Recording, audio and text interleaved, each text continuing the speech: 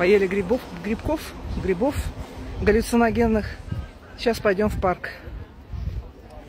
Галлюцинации ловить. Нет, спасибо.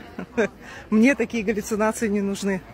Я помню 98 год или 99, а может 2000, не помню. Короче, это было много-много лет назад в Амстердаме. Купили грибов в кофе-шопе. Ну и поели. Это был мой первый и последний раз.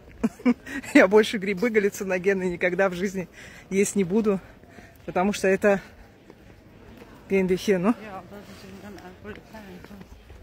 Я иду, рассказываю, а Ирис рядом идет. Сейчас я вам расскажу про грибы галлюциногенные.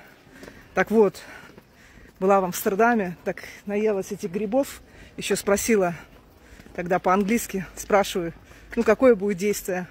А он мне говорит, мы, ну парень стоит так с травой, с косяком. Говорит, ну как будет? Волнообразно будет. То отпустит, то накроет, то отпустит, но накроет. Но я думаю, ну ладно, что.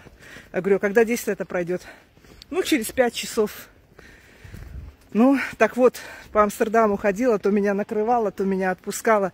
Всех монстров увидела. Кто на велосипеде ехал, вот так растягивались лица и тела. Ну, короче, ужасно было. Страх какой-то был страшный. Всех боялась. Боялась глаза посмотреть люди мне казались монстрами, животные казались монстры, собачки какие-то маленькие казались тоже какими-то монстрами. Ну, ну, как он и сказал, через пять часов действия прошло. Все, вот как на часы я посмотрела, мы как раз уже были в гостинице. Да, прошло, и все как бы, как бы, как не бывало. Так что, ну, я не знаю, что это за грибы были, но спасибо не надо.